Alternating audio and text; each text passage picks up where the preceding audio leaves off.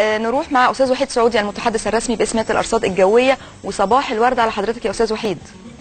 صباح الخير يا أستاذة مروه صباح الخير يا أستاذة نرمين وألف مبروك الله الله. يخليك. ميرسي لحضرتك جدا. ربنا يخليك يا أستاذ وحيد. آه، عايزين نطمن على الجو النهارده فجأة فجأة. ماشية طول الطريق الدائري. الدنيا لطيفة. أول ما دخلت أكتوبر في شبورة مش طبيعية. فإيه بقى أخبار الشبورة دي إيه؟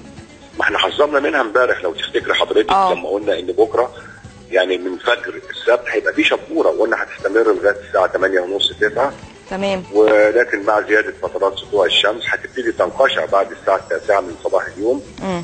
آه لكن طبعا بصفة عامة الجو النهارده ربيعي دافئ خلال ساعات النهار وإن مم. استمر بارد أثناء الليل وتحذيرنا برضو فجر الأحد من الشبورة المائيه الكثيفة على معظم الطرق بما فيهم القاهرة والقناه يمكن دلوقتي من أكثر المناطق المتعرضة للشبورة الكثيفة هو طريق القاهرة اسكندرية حضرتك. خاصة عند منطقة برج العرب الرؤية أقل من 1000 متر.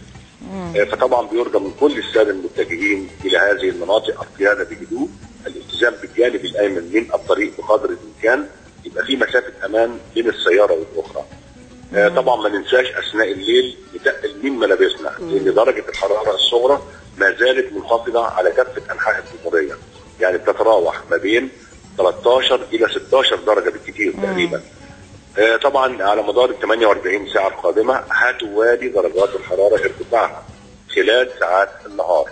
حركة الرياح تسمح بالقيام بكافة الأنشطة البحرية سواء في مسطح البحر الأحمر البحر المتوسط تساعد على حركة السفر داخل جميع المحافظات بعد انقشاع الشمس. أستاذ وحيد صباح الورد على حضرتك مرة تانية. صباح الخير يا أستاذة مروة. وزي ما حضرتك سامع صوتي كده أنا طبعا لأني ما اتبعتش التعليمات يعني بالشكل المطلوب بعيت وصيفت بدري وما لبستش حتى جاكيت بالليل ولا الكلام ده. فيعني إحنا عايزين ندي برضو للناس شوية تعليمات يتبعوها آه، آه، ويمشوا عليها عشان ما يتعرضوش للي أنا فيه ده دلوقتي أو ما يتعرضوش حتى آه، لأمراض بقى ال- ال- الإنفلونزا الحساسية. وتحديدا الأطفال لأن يمكن الأطفال بيبقى مناعتهم قليلة جدا أو ضعيفة جدا.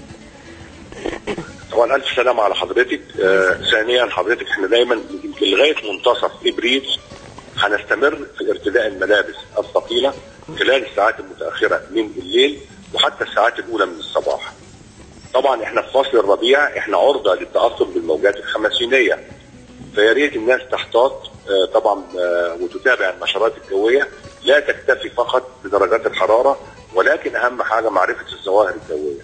طيب آه، طبعا خلينا الحمد لله الأجواء جميلة جدا. مم. آه، يعني ما فيش مشاكل بس ننتقل من ملابسنا ليلا طيب خلينا برضو يعني نطمن ونطمن كل مشاهدينا على درجات الحرارة المتوقعة في القاهرة السواحل والمحافظات الشمالية حضرتك من 22 ل 23 درجة القاهرة والوجه البحري 30 درجة.